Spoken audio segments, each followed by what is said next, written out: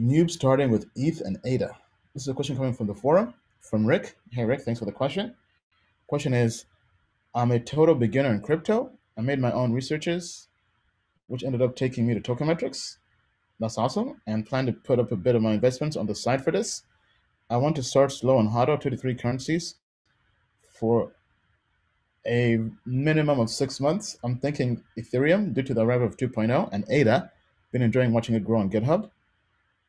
BTC still sounds to me like the pioneer who originated from a dark web black market and now a decade later is competing against more promising market followers. It is the most popular, so it sounds like a big target for future regulation. Wrong thinking. Again, total noob here. Is that a sound idea for starter? Advice? Welcome.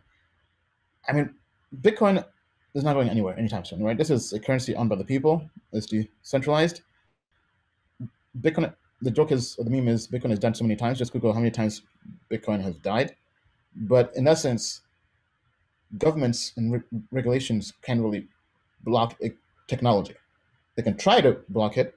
Uh, the only way they can really block it is kind of what China did, right? They booted up the miners, they banned ICOs, they they can try to ban the service providers or regulate the service providers in the ecosystem, but it's really stupid for them to try to ban it because it's, it's, technology. Just, just like they couldn't ban BitTorrent, right? Something that's peer to peer is very tough to, to ban. It's kind of like whack a mole, right? That game where you keep on trying to whack, right?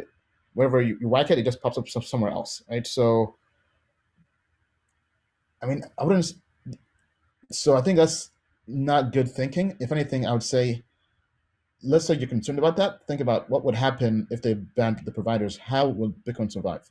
Right? Just go because we have case studies of other governments trying to regulate Bitcoin and crypto. Right? But anyway, going back to the other part of the question, you want to start slow on HODL two to three cryptocurrencies for at least six months. I mean, I like Ethereum. I think that's good long term. Cardano, as we mentioned, especially if Cardano, Cardano is basically a hedge to Ethereum smart contracts, right? So it's a good hedge. The technology there is solid. This scored an 88 on the code reviews. This was over a year ago and now the technology has improved a lot, right? With them getting ready to launch smart contracts. So Cardano is definitely solid and can give Ethereum a run for its money. Uh, and having Bitcoin, Bitcoin, Ethereum, Cardano, that's a good portfolio if you want to hold three. Uh, if you if you're more risky, you can throw in a few other altcoins. Check check them out on Token Metrics. We also had our altcoin report, which we put out that covered our best coins for the quarter uh, if you join as a customer, you can always just contact customer support and they'll email that to you. But yeah, so those are the coins I think make sense if you're looking to hold coins for three months. Uh, some people saying Polkadot, Helium Network. Yes, I love Helium Network. I mean, I would definitely add Helium Network. And Helium launched staking, right? So I've not begun staking yet, but staking is now officially live. I was looking into Bison Trails and what's the other one? Staked, and for Bison, I think you have to have like five validators, which is pretty steep.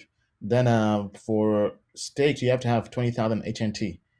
Yeah, so it looks like they're targeting mainly institutional or large investors. So if you're a small investor, you probably have to look, into the other smaller staking platforms.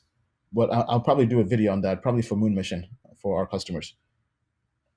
Okay, all right. So let me know what you think. Uh, thank you for that question. Right. Token Metrics is a cryptocurrency investment platform that helps users leverage machine learning to become better crypto investors. Our in depth analysis helps eliminate the emotions of investing, find profitable investment opportunities, and filters out scams. Learn more at tokenmetrics.com.